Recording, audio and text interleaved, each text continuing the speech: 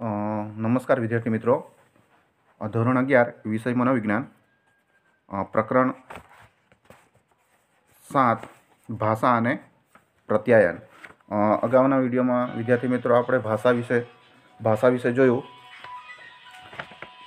ખાસ કરીને ભાષા, ભાષાના વિચારો વચ્ચેનો સંબંધ એની આપણે ચર્ચા કરી. બોલવાની ક્રિયા અને વાણીની ભૂલોની ચર્ચા કરી. હવે આપણે જોઈશું પ્રત્યાયનમાં અવરોધો. આ વિડીયોની અંદર કે પ્રત્યાન ભાગ્યે જ આદર્શ પરિસ્થિતિમાં થતું હોય છે એમ કહેવાય છે. મોટેભાગે કોઈને કોઈ અવરોધો આવતા જ હોય છે અને તેને જાણવાથી એને કાબૂમાં લેવાના માર્ગો આપણે અમલમાં મૂકી શકાય એમ કહેવાય છે. પ્રત્યાનમાં લગભગ દરેક સોપાન જે છે એ સોપાન ઉદ્ભવ, પ્રેક્ષક, સંકેતાકન કે સંદેશ માધ્યમ, વિસંકેતન, ગ્રાહક અને પ્રતિપુષ્ટિમાં અવરોધો આવી શકે જે નીચે પ્રમાણે છે. કે પ્રત્યાયનમાં આવતા અવરોધો કયા કયા? તો એમાં પ્રથમ છે પ્રેક્ષકમાં સ્પષ્ટ સંદેશો મોકલવાની શક્તિ જ ન હોય, એટલે કે અજ્ઞાનતા હોય, ઓછી બુદ્ધિ હોય એવા સમયે. નંબર બે, કે પ્રેક્ષકમાં સ્પષ્ટ સંદેશો આપવાની મરજી કે દાનત જ ન હોય, તેને ગૂંચવાડ ઊભો કરવામાં જ રસ હોય. એક અવરોધ હોઈ શકે, ત્રીજો અવરોધ એ પ્રકાર આવી શકે કે પ્રેક્ષકની ભાષાની અભિવ્યક્તિ તદ્દન નબળી હોય, કે ભાષાની જે અભિવ્યક્તિ જે છે એ તદ્દન નબળી હોઈ શકે. નંબર ચાર, પ્રેક્ષકની અને ગ્રાહકની માતૃભાષા જુદી જુદી હોઈ શકે. નંબર પાંચ, પ્રેક્ષક વારંવાર સંદેશાના મહત્ત્વના મુદ્દા ભૂલી જતો હોય. નંબર છ, પ્રેક્ષકે વાપરેલા શબ્દો અનેક અર્થવાળા હોય. દાખલા તરીકે, ધવલ ભોજનમાં રસ લે છે. રસ બરાબર રુચિ અને રસ બરાબર કેરીનો રસ પણ હોઈ શકે. હવે નંબર સાત તો આ પ્રમાણે પણ અવરોધો હોઈ શકે. પ્રેક્ષકની ભાષા અઘરી, અપરિચિત હોઈ શકે. ગ્રાહકમાં સંદેશો ઝીલવા માટેની શક્તિ કે મરજી ન હોય એવા સમયે અવરોધો ઊભા થઈ શકે. ગ્રાહકના મર્યાદિત જ્ઞાનને લીધે તે સંદેશો બરાબર ગ્રહણ ન કરી શકે. ત્યારે અવરોધો આવી શકે. ગ્રાહકને ધ્યાન આપવાની કે યાદ રાખવાની શક્તિ મર્યાદિત હોય ત્યારે અવરોધો આવી શકે. અગિયાર પ્રત્યાન સમયે ગ્રાહક કોઈ બીજા કામમાં વ્યસ્ત એટલે કે રોકાયેલો હોય ત્યારે પણ પ્રત્યાનમાં અવરોધો આવી શકે. નંબર બાર પ્રત્યાનમાં અતિશય માહિતી આપવાથી ગ્રાહક માહિતીના અતિશય બોધથી દબાઈ જાય. નંબર તેર કે ગ્રાહકને પ્રેક્ષકમાં અણગમો કે અવિશ્વાસ હોય. નંબર ચૌદ, ગ્રાહક પ્રત્યાનના સમયે તીવ્ર આવેગથી ઉત્તેજિત થતો હોય. નંબર પંદર, વાતાવરણમાં પુષ્કળ વિક્ષેપો હોય, ઘોંઘાટ, લોકોની સતત અવરજવર, અતિશય ઊંચું કે નીચું તાપમાન વગેરે. આ નંબર સોળ, પ્રેક્ષક અને ગ્રાહક વચ્ચે ભૌતિક અંતર ઘણું વધારે હોય, તો આ બધા કારણો પ્રત્યાનમાં અવરોધો લાવવા માટે જવાબદાર હોઈ શકે.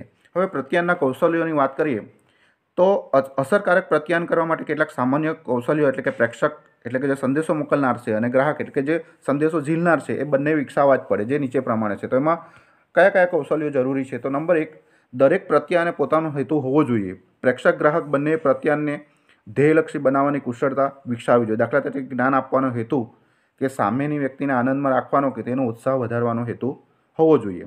નંબર બે, દરેક પ્રત્યાન પાછળનો વિચાર સ્પષ્ટ હોવો જોઈએ.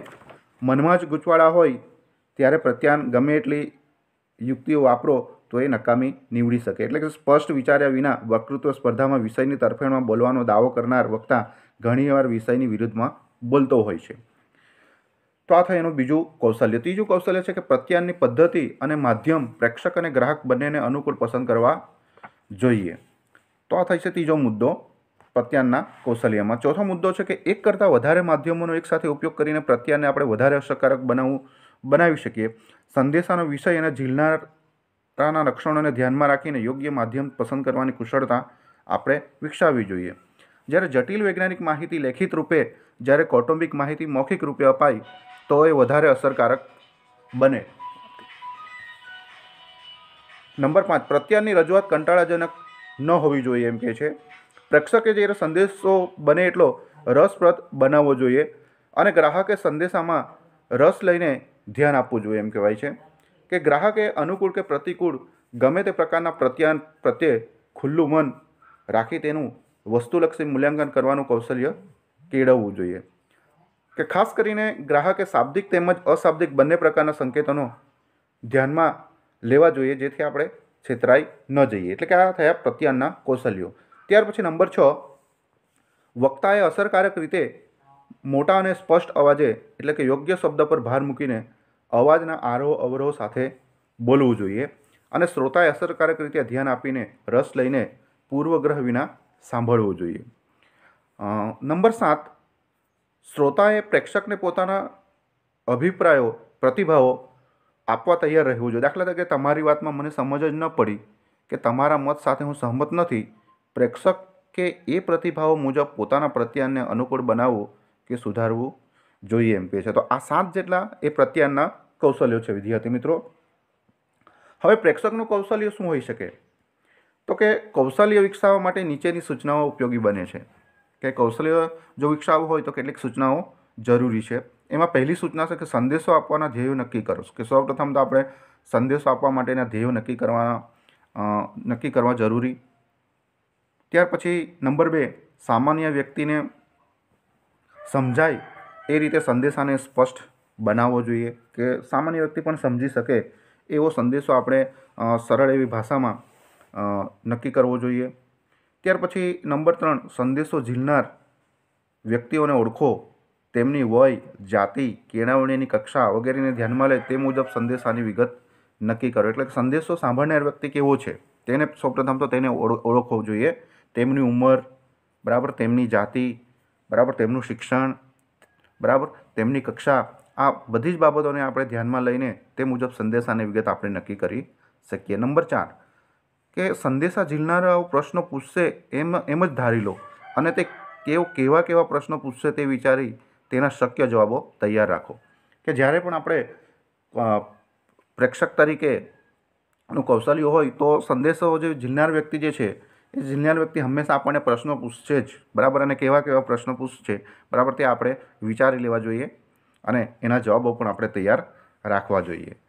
ત્યાર પછી સંદેશો આપવા માટે કોઈ મુદ્દા રહી ન જાય એ માટે મહત્ત્વના મુદ્દાની નોંધ રાખો.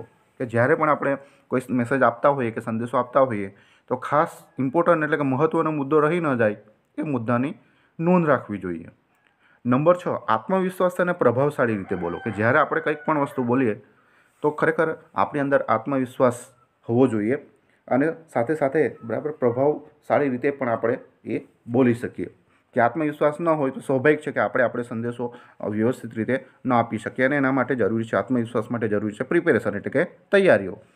નંબર સાત, રજૂઆત પહેલાં મહાવરો કરો. કે કોઈપણ બાબતને સંદેશો પહોંચાડવાની આપણે જ્યારે તૈયારી બતાવતા હોઈએ તો સૌપ્રથમ રજૂઆત પહેલાં મહાવરો કરો. બરાબર પ્રેક્ટિસ કરો વારંવાર, અવારનવાર.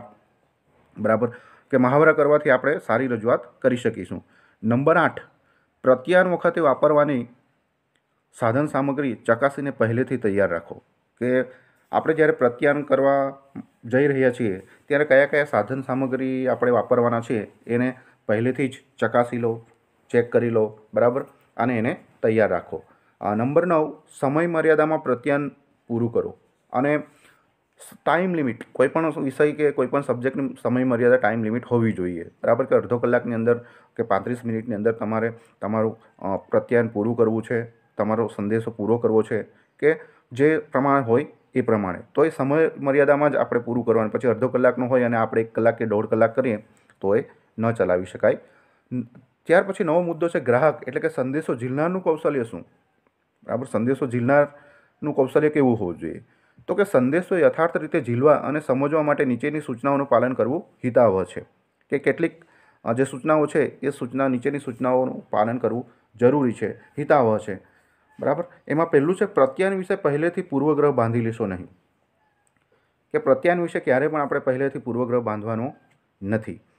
એની અંદર જ બીજો મુદ્દો, પ્રત્યાયનના વિષય વિશે તમે પોતે પણ આગળથી માહિતી મેળવો અને વિચારો જેથી વક્તા સાથે યોગ્ય ચર્ચા થઈ શકે. કે પ્રત્યાયનના વિષય વિશે તમે પોતે પણ આગળથી માહિતી આપણે મેળવી લો અને વિચારી લો કે જેથી કરીને આપણે વક્તા સાથે યોગ્ય ચર્ચા કરી શકીએ. ત્યાર પછી નંબર ત્રણ પ્રત્યાન ચાલુ હોય ત્યારે વિક્ષેપો કરવાનું ટાળો કે જ્યારે પ્રત્યાન ચાલુ હોય ત્યારે જે વિક્ષેપો ઊભા થતા હોય એ વિક્ષેપો કરવાનું હંમેશા આપણે ટાળવું જોઈએ. અને નંબર ચાર, વક્તાના શબ્દો કરતાં અર્થ ઉપર ધ્યાન આપો. બરાબર? કે વક્તાના શબ્દો કરતાં એ વક્તા શું કહેવા માગે છે એની ઉપર આપણે વધારે ધ્યાન આપી શકીએ. અને નંબર પાંચ, તમે ઝીલેલા સંદેશાનો સારાંશ બનાવો બનાવો. અને જે કંઈ મેસેજ આપણે લીધો છે, જે કંઈ આપણે સાંભળ્યું છે, એનો અંતે સારાંશ કાઢો, કે જેથી કરીને આપણે એને જાણી શકીએ. તો વિદ્યાર્થી મિત્રો, આ વિડીયોની અંદર આપણે લગભગ ચાર જેટલા મુદ્દાઓની ચર્ચા કરી. એમાં પહેલો મુદ્દો છે પ્રત્યાયનમાં અવરોધો. બીજો મુદ્દો છે પ્રત્યાયનના કૌશલ્યો. ત્રીજો મુદ્દો છે પ્રેક્ષકનું કૌશલ્ય. અને ચોથો મુદ્દો છે, લાસ્ટ મુદ્દો છે ગ્રાહક સંદેશો જિલ્લાનું કૌશલ્યો. તો હવે વિદ્યાર્થી આ સાતમું જે પ્રકરણ જે છે, એ સાતમું પ્રકરણ પૂરું થાય છે. અને પ્રકરણના અંતે પેજ નંબર ચોર્યાસી ઉપર પ્રશ્નોના જવાબ આપ્યા છે કે નીચેના પ્રશ્નોના એક વાક્યમાં ઉત્તર લખો. એમાં જે વિદ્યાર્થી મિત્રો, ચારથી દસ જે પ્રશ્નો જે છે, એ ચારથી દસ પ્રશ્નો તમારે લખવાના છે. અને એકથી ત્રણના એકથી ત્રણ પ્રશ્નો લખવાના નથી, કેમ કે એકથી ત્રણ જે પ્રશ્નો જે છે, એ આ વર્ષે અભ્યાસક્રમમાં નથી. તો ચોથા પ્રશ્નથી આપણે શરૂઆત કરીએ, તો ચોથો પ્રશ્ન છે કે ટૂંકા સંદેશાઓની વાણી એટલે શું? ત્યાર પછી પાંચમો પ્રશ્ન છે, ધ્વનિ એકમ કોને કહેવાય? ત્યાર પછી છઠ્ઠો પ્રશ્ન છે, સંદેશાના વહનના માધ્યમને શું કહે છે? ત્યાર પછી સાતમો પ્રશ્ન છે પ્રત્યાન કારણરૂપ તેમજ પરિણામરૂપ હોય છે, તેનું ઉદાહરણ આપો. ત્યાર પછી આઠમો પ્રશ્ન છે, અસરકારક પ્રત્યાન કરવા માટેના કૌશલ્યો કોણે કોણે વિકસાવવા પડે છે? ત્યારબાદ નવમો પ્રશ્ન છે, વાણી વિકાસનો વાતાવરણ સિદ્ધાંત કોણે આપ્યો છે? અને દસમો પ્રશ્ન છે, વાણી વિકાસનો જન્મજાત સિદ્ધાંત કોણે આપ્યો છે? તો ચારથી દસ જેટલા જે પ્રશ્નો જે છે, એ પ્રશ્નોના જવાબ તમારે એક વાક્યમાં આપવાના રહેશે અને જે તે દિવસે, જે તે સમયે, બરાબર?